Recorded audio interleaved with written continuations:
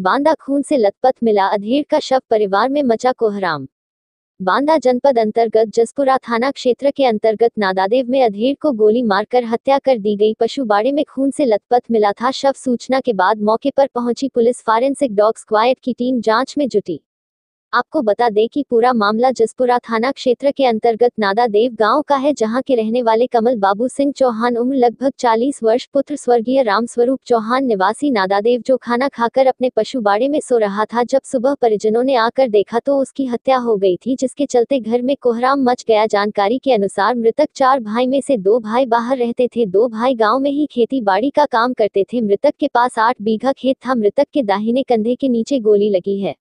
मौके पर पहुँचे सीओ सदर सत्य प्रकाश शर्मा सहित कई थानों की पुलिस जसपुरा थाना police Pailani police Taidwari police कोतवाली पुलिस जाँच में जुटी।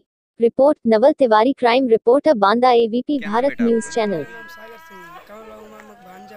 अच्छा भांजे हैं आप उनके कमल बाबू के। बेटा क्या हुआ यहाँ पर रात में? पता नहीं क्या हुआ सुबह तो गोली लगी थी उन्हें। अच्छा किस जगह लगी थी गोली? अच्छा क्या लगता है कि हत्या की गई है? हाँ। किसी के ऊपर शक वक है?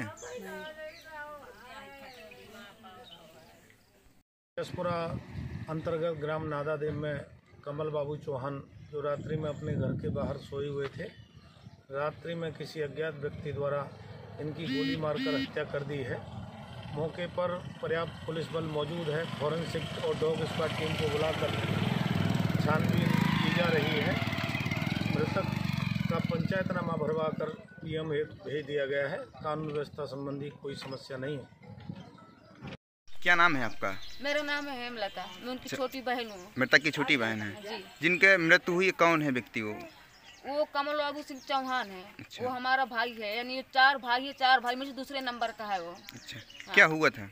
वो हमें मालूम नहीं कि क्या हुआ था क्या नहीं हुआ था। वो कल अच्छे से था खूब अच्छे से फ्रेश दिमाग में था। खाना खाया खाना खा के लेट गया के अपने बाड़ा में।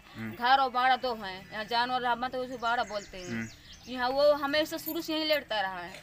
जब ये लेटने के बाद फिर वो समझ लो कि सुबह रोज चार बजे घर जाता था जगाने के लिए सबको।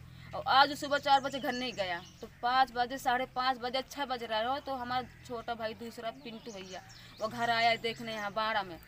कि यानी कि हमारा भाई या इसलिए देखने आए कि अभी भैया कहाँ सो रहा है कभी ब्याह नहीं रहा। जब देखा तो पड़ा था। किस अवस्था में पड़ा था? वो नहीं वो अच्छे तरह लेटा था रजाई ओढ़ है। और जब रजाई खोला तो खून खच्चर से भरा हुआ था।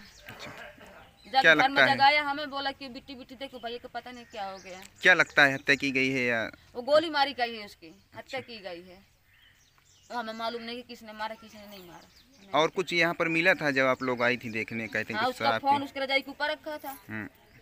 और कुछ बोतलें उतलें मिली थी क्या यहाँ पर? बोतल कुछ नहीं मिली थी गिलास रखी थी नीचे दो। उसके यहाँ ऊपर से नमकीन थी और मुँह से खून निकल रहा था नाक से और नीचे खाट के नीचे खून पड़ा था।